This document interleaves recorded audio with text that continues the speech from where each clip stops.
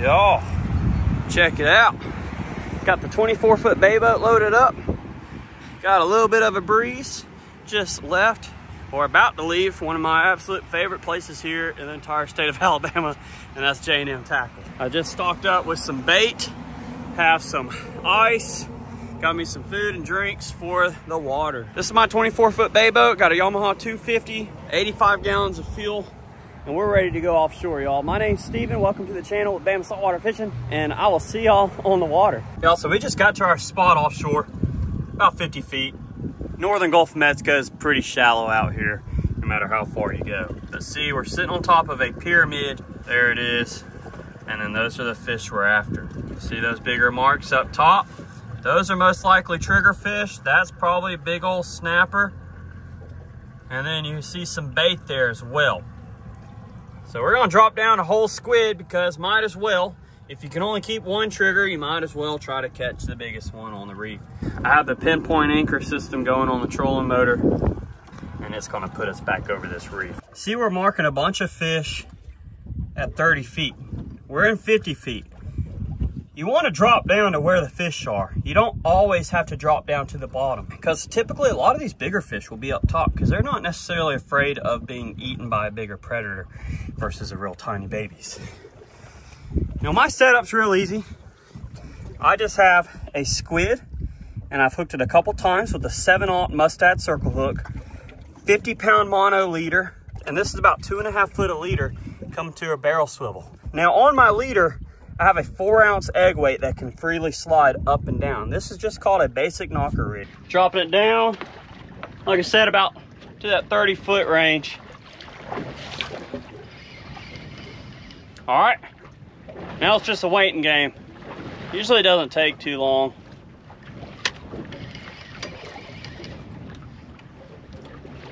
Oh. All right, first fish hooked up. Mmm, feels like a good one. Now with circle hooks, you just start reeling. Once that line bows over, just start putting pressure on it and reel. Majority of the time, they'll get it right in the corner of their mouth. Now, I wish it was red snapper season, but it's not, because that would be a really nice keeper right there. But see where the circle hook is? Alabama has a great red snapper population. Thankfully, a lot of money goes into putting reefs out. We have one of the biggest artificial man-made reef zones in the entire Gulf. It's time to drop down the banana jig on my inshore setup. Once it's down, just give it some sharp twitches. You never know when they're gonna hit it, so always be prepared. Like that, something just smacked it. The water's not super clear, so it's gonna take a little bit. There we go. They love that little jig, I'm telling you.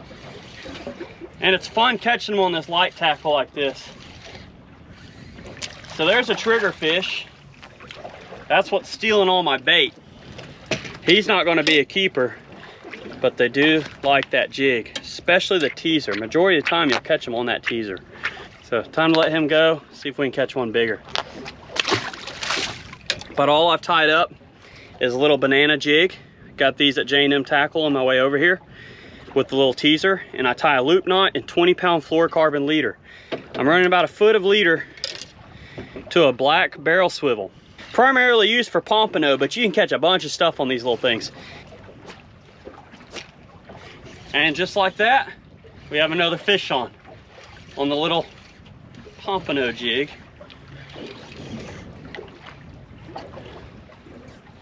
So there's a Tom Tate or Ruby Red Lips.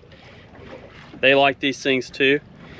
See if I can show you why they call them Ruby Reds. You've seen me show this on the channel before, but if you haven't, they have a big old mouth. You hear that sound? He's like, put me back. But see how red their mouth is? We're gonna let him go, but that one right there, if snapper season was open, I'd keep him.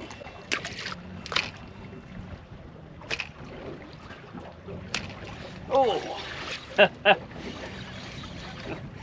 that's incredibly exciting when they hit that jig. You never know when they're gonna do it. But there's another trigger fish, much smaller this time. they need to go the opposite way. They need to get bigger. But these are notorious bait thieves. Ones these size, if you're snapper fishing, drop down a cigar minnow, those little teeth will tear them up. But he gets to go back and maybe a couple years, we'll come back and catch him. He's like, no. All right, dropping the jig back down, getting some good marks. See if we can catch a big one on this. Hmm. There we go. That's the type of pull we want. Or at least it started out like it. Come on. Lizard fish. what else are we gonna get? Here's a dang lizard fish. If you go fish Little Lagoon, you know way too much about these because they are all over Little Lagoon. But that's a lizard fish. They are edible, very bony. Majority of the time, not really worth cleaning, but you can eat them. No limit on them. They see why they call them lizard fish? Because they kind of look like a lizard in the face, but they're a fish, obviously. He's gonna go back. At least that adds to the species list for today. That's always fun. I like catching different species because you can't do it anywhere else other than in salt waters. Catch that many different species on just one area.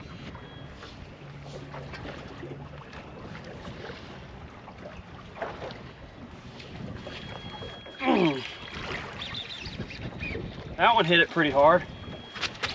What is that?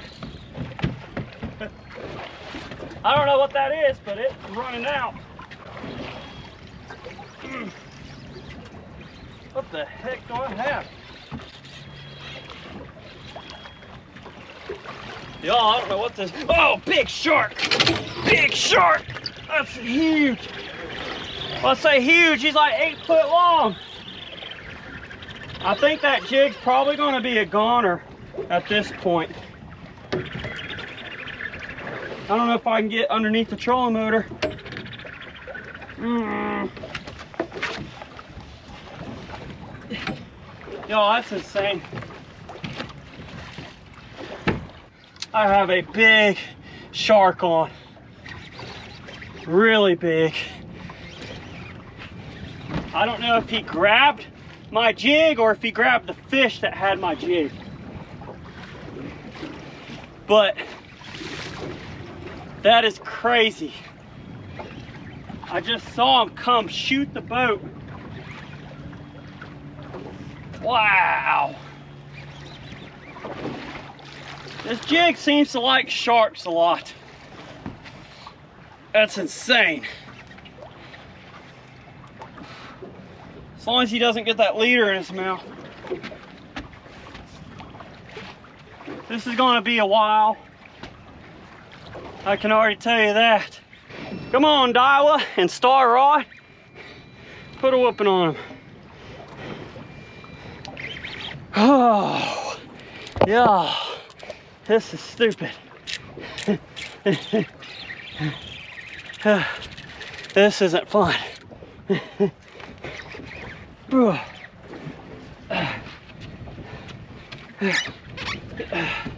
Not fun. It was for a second. If that's a black tip or spinner, he's a keeper. He's coming around the boat. There he is. Can you see him? Y'all see it? That's a big one. Look at that thing. It's a black tip. He would be a keeper too. Y'all wanna see a shark catch and cook? I love sharks, but this one might be worth keeping. Like I love sharks, I respect them, but there are a bunch of them out here. If I can get them up, I might need a bigger gaff. yeah, we're gonna keep that thing. We're gonna do a shark catch and cook. Come here. Come here you big beast. Hopefully I'm getting good footage of him.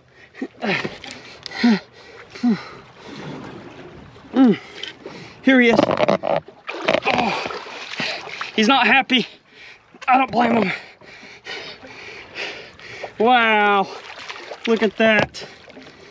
Mm. This is not going to be good.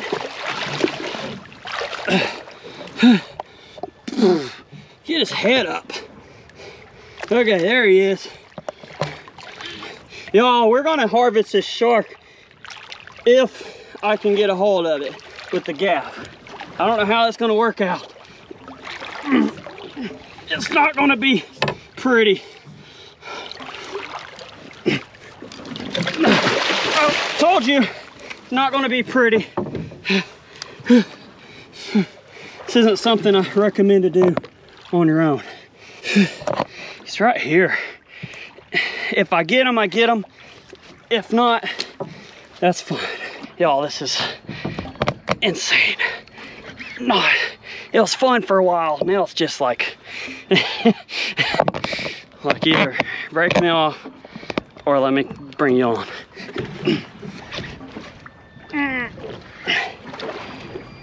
this isn't your typical bait caster either for like bass. These are heavy duty. This is a Daiwa Lexa bait caster, Star Plasma 2 slow pitch rod. Whew.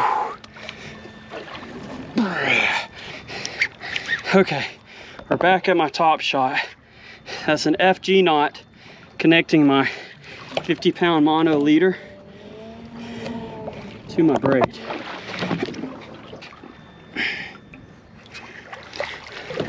Maybe if I can get them in the mouth, get my jig back. I don't know. Legally, you can harvest them in the state of Alabama. Got him. Okay. This is not gonna be fun.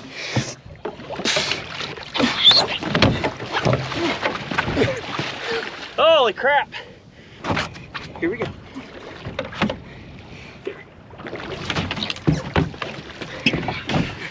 Got him! Yeah! Oh, he's a spinner. He's a spinner shark. Okay, he's in the boat. This is actually, I was wrong. It's not a black tip. It's a spinner shark, which you're still allowed to keep a spinner shark too. So, whew. I gotta recover and I'll show you this fish. That's insane.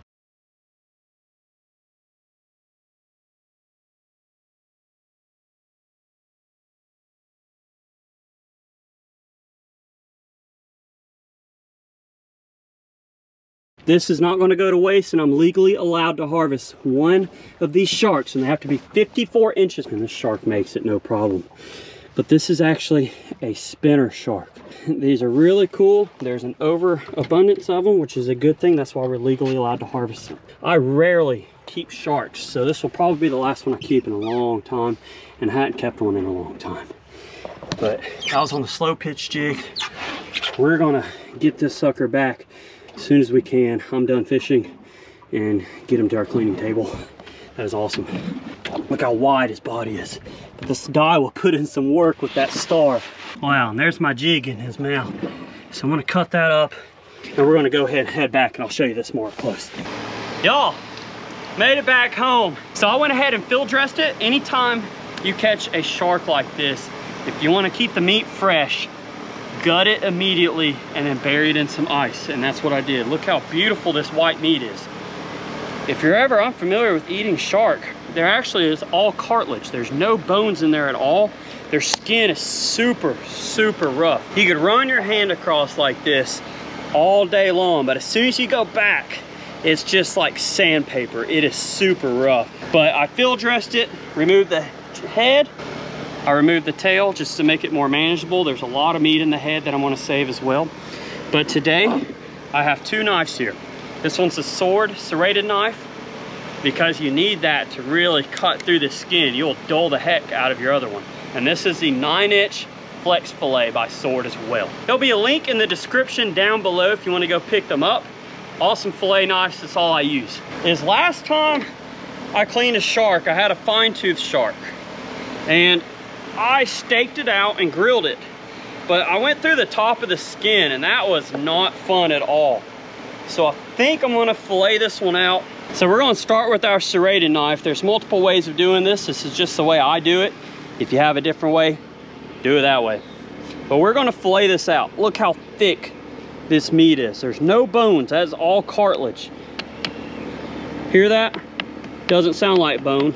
Sounds like I'm hitting rubber. But that's what that is. It's cartilage. It feels like plastic. So we're gonna take this serrated and go through the top of this skin. So here we go. Oh yeah, this serrated's making a lot easier work than it was last time for me. Gonna take our time with it. Don't wanna waste any of this. This is a beautiful critter. I was blessed to be able to land it and I don't wanna waste any of this meat. It's all gonna go to good use. So see, getting through this body. It's gonna go through the rest of it. All the way down this fish. Or I say fish, but this is a shark. It's in the shark family. Now I don't clean shark much. I don't keep them often at all. So I'm just taking my time and letting my knife do the work and not going too deep. There we go. So we got through the tough skin. Now we're gonna take our flexible Sord. See it's flexible, allows you to work around the cartilage or bone. And just fillet it just like I would anything else, really.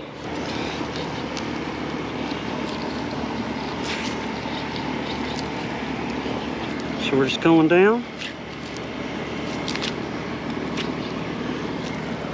Kind of pulling the meat away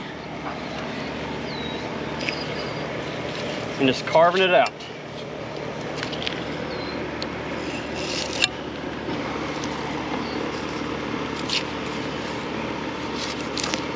There we go. See that? There's its spine right there. Look at that. A lot of meat on these things. And hardly any red meat at all. This is very good looking, fresh. I'm definitely not an expert when it comes to cleaning shark. But I think we're getting it done. Use that serrated to get through the rest of the skin back here. Now we have one side of this shark. Look at that thing's big. That's gonna feed a lot of people. A lot of people. So that is awesome. Look how thick that is.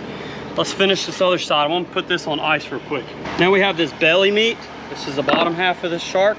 Look how thick that belly meat is. So I'm gonna take that serrated again and go through and get this belly meat off. Look at that big slab of stuff. That is awesome. Heck yeah. And all we got to do is take this lining off. This is connective tissue or stomach lining. We'll take that off. Y'all now we have one side finished. Look at that spine. That's pretty neat. They're very flexible. I mean, extremely flexible.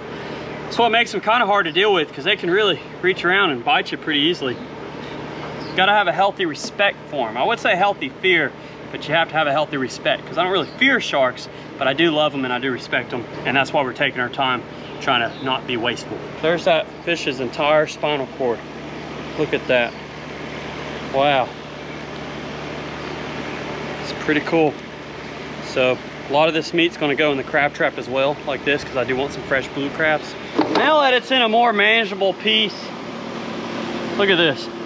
Doesn't that look good? It's time to fillet it off the skin. They do have a little bit of bloodline going through the middle.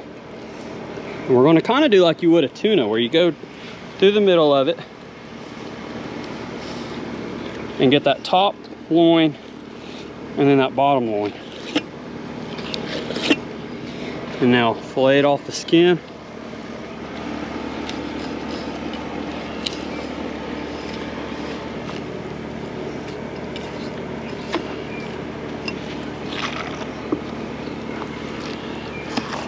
There we go. That's one advantage of the skin being hard to cut through is if you take your regular knife, you can it right up against it. So now all I'm doing is just trimming off this red meat. That's it.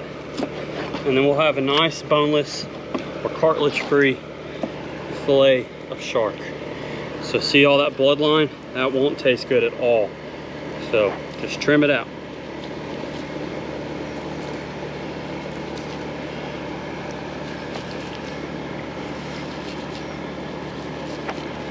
Don't want any of that in there. And now I'll go in the crab trap. Blue crabs love it. Now that's an awesome piece of meat right there that is hard to come by.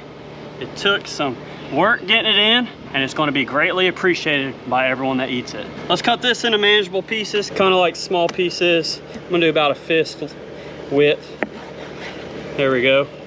Looks good. And these can either go on the grill. So that's all it is. You saw me fillet it out, trim up the red meat.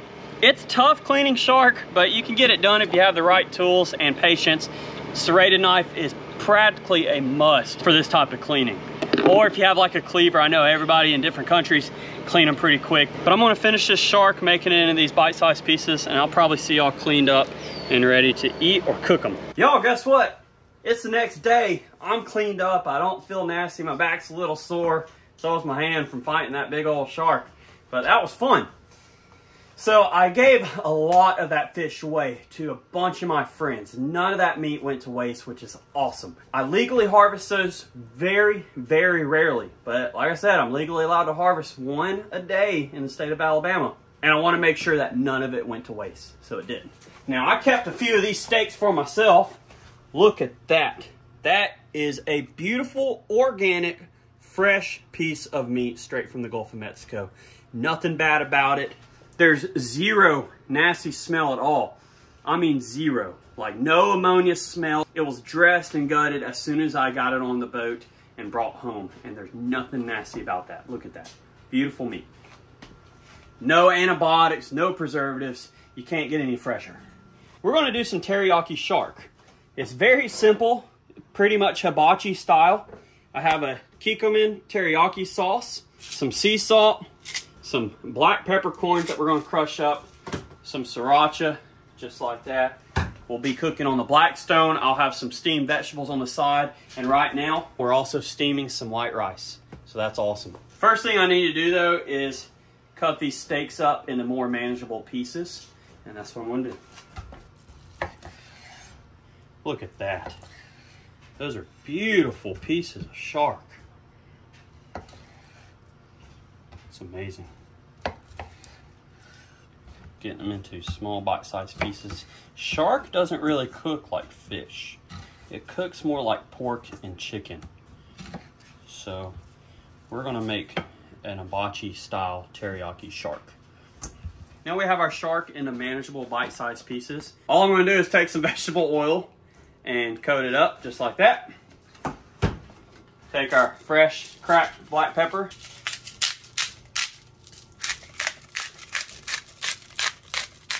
And now some freshly cracked sea salt. There we go. That thing's kind of janky, but it worked. Now all I'm gonna do is mix this around, get it evenly coated. Shark can really take seasoning. So some fish you don't want to over season like sheep's head, pompano, you don't want to throw a whole bunch of stuff on there. Now I've got one more little secret ingredient, and that is this Big Mike's all-purpose seasoning. If you've ever eaten at Big Mike's Steakhouse, very, very good. There we go. Oh yeah, that's gonna be good. Alrighty. And that's just a really nice mix. If you have your favorite steak seasoning, you can use that or all-purpose seasoning. But this stuff's very good. Get that all coated. And we'll be ready to go warm up our Blackstone. So we're gonna let that sit and let those seasonings absorb into the meat for a little bit while our Blackstone's warming up. I'll see y'all outside. Hey, guess what? We're out here and we have our Blackstone warmed up. I have one side on about medium heat. That's gonna be our steamed vegetable side. Then this side, we're gonna do our hibachi shark.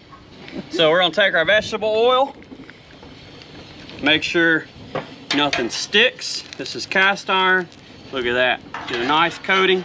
If you've ever eaten somewhere like Sarku, Japan, in the mall, or Mikado's, or any hibachi place, this is gonna be real similar, but with some fresh shark. First thing I wanna do, drop my vegetables down, because these are gonna be steaming.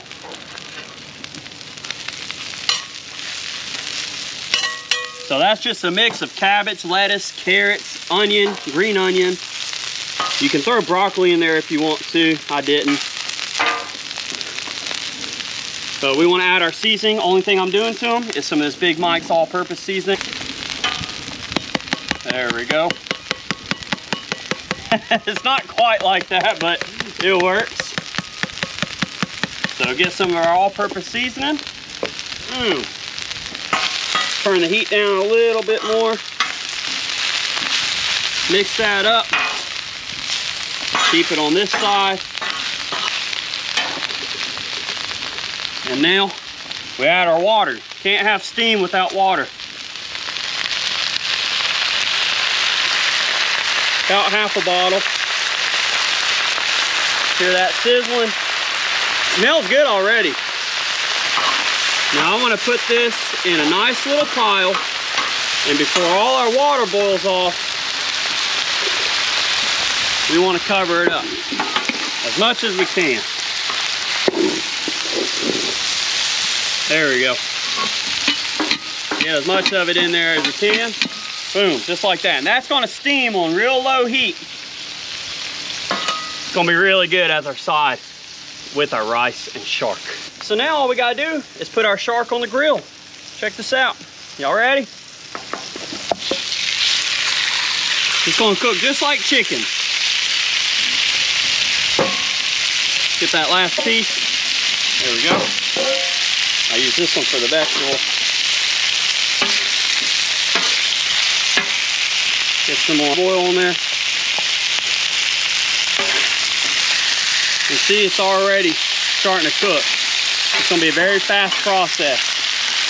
Look at that, already turning white. See that? Really pretty, smells good. Once it starts cooking, you'll see it turn white just like I showed you. We'll flip them, mix them up, and then we'll add our teriyaki glaze. Let's check on our vegetables while our shark's cooking. Here we go. Oh yeah, that's what you want. See it steaming? I'll mix it together some. Let our vegetables get soft, absorb all that flavor. See how they break down a little bit? How the huge pile of vegetables and it's broken down into this.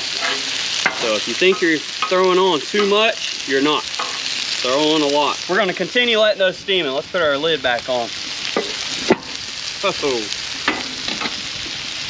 And like I said, inside we have some fresh white rice cooking in the rice cooker. It's gonna be good, y'all. So we're gonna take our steamed vegetables off. Look at that. Set this to the side. Scoot those over and just let those stay warm on the side. I'm gonna kill the heat on that side because we're done with our vegetables. There we go. And that's just gonna stay warm over there until our shark's finished. Now, let's get our shark, start turn them over. Oh, wow. So we wanna make sure it evenly cooks without burning.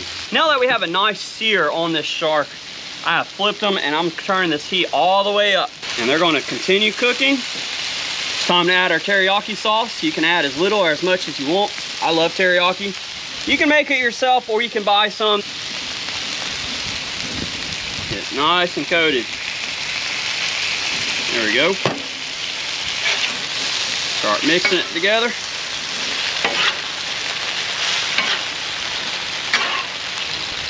Oh man, that smells really good. Smells like I'm at the mall or I'm at the hibachi grill getting ready to eat some teriyaki chicken. That smells good.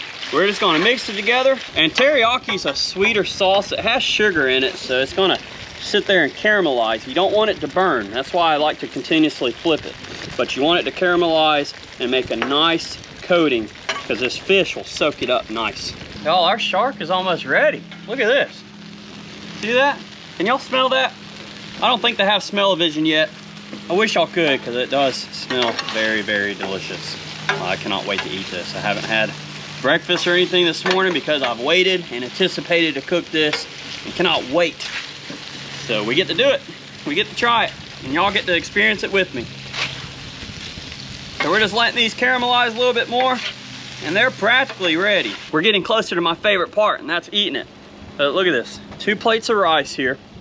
It's just some steamed white rice. It's my favorite way of enjoying teriyaki. You gotta have some white rice. Take some of our steamed vegetables, Check that out. On the side, gotta stay healthy. All organic eating. And now, the main dish. Check that out. Oh man. Does that not look delicious? Well, I can't believe I cooked that myself. It was very easy. I just like to make these videos so you don't feel intimidated or nervous or anything or just unsure of catching saltwater fish. Like you can do this yourself. You just wanna be careful with stuff with species like this, like shark and you know, don't over harvest and obviously follow all your regulations, yada, yada, yada.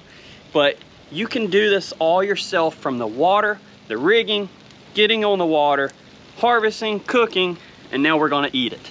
Fresh, legally harvested, organic shark.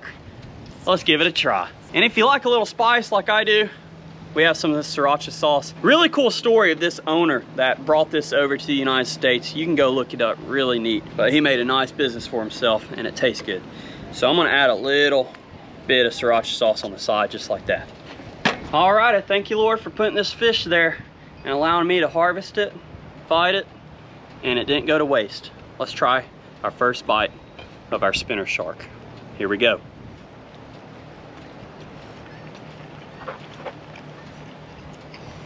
Mmm. Not bad. Consistency of chicken, but not as like firm, I should say. There's no fishy taste, no ammonia taste. That's just a basic, delicious piece of meat right there. Nothing wrong with it. I like to try some with my rice.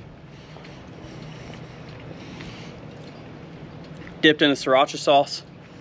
There we go. Oh, mm-hmm. The sriracha makes it. With the rice, the sriracha, and our vegetables, that is a delicious dish right there. Let's eat some more. Mmm.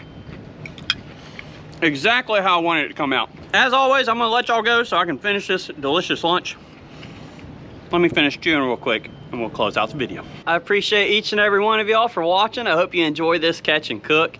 We'll see you on the next Bama Saltwater Fishing video. If you have not subscribed yet, the channel is constantly growing. It's so amazing to see. Appreciate each and every one of you. Go smash that subscribe button. See you on the next Bama Saltwater Fishing video. want to thank the good Lord up above for everything he does for us, as always, and we'll see y'all later.